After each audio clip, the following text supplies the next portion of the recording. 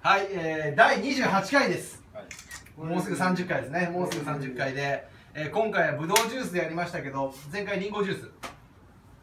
でやりましたねジュースでは。で今回田代さん初参戦ということで。初参加ということで。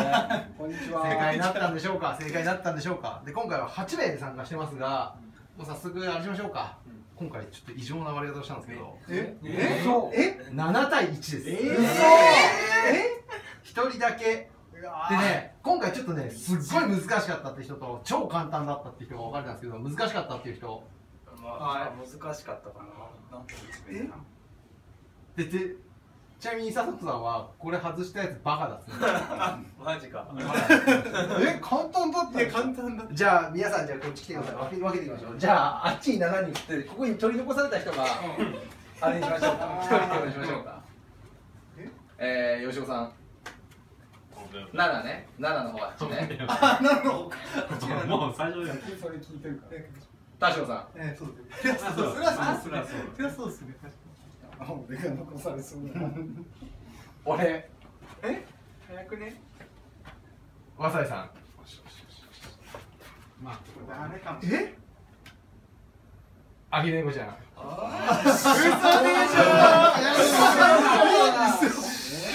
れ怖いな確かに佐藤さん。マジ羽鳥さんっ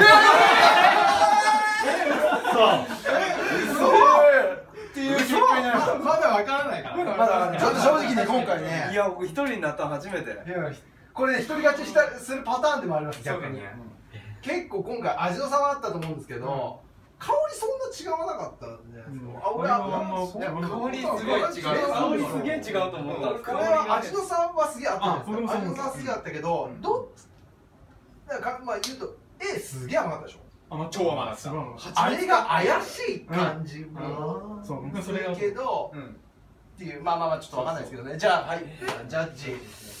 いやジャッジの皆さんジャッジしながらねはいいやこれ一人勝ちだったらかっこいいですかっこいい。かっこいいかっこいいじゃあ正解お願いします。えーと正解は A でした。そりゃそうよ。あれは間違わない。からあれはこれは間違わない。でもね確かにねちょっとね。これちょっとわかりやすなんか甘すぎた。あ、そこ甘すぎたと思った。それだ甘すぎてそそう甘すぎて、すげえなんか喉がベタつくんですよ。あー確かに。まあ大大げさではあるか。大げさではある。いやえー、こんな味つく？死んでるでしょ B は。黙れ再開行こう。こんなうまいんだ。もうね、天まあというわけでさをね、ちょっと分かんなかったみたいだね。いやこれはもう俺だって全部飲まなかったよ B B ね飲まず確かにね、ちなみにひでこちゃんは最後の最後まで最後の最後にやっぱ答え変えていいですか？って危ねいやその甘さのせいだし田代さんはもう余裕そう結構即答だまあまあまあ今回だからそのめえな、これ。サービス問題だなこれな。まあ俺もサービス問題って言ってもらったんですけどいきなりでも誠司君と俺で割れたから。それ B からもそう。ねでも確かにそうかもしれないと思ってわざとらしいかもしれないと思って。アヒレイコさんの買い方すごかったですね。最後の最後。最後決め手がないっていう。B はい A も甘すぎるけど B に決め手がないっていう感じで話しましたというわけで、はい、よかった98回こうなりました。誠司君、上位の誠司君がまさかの。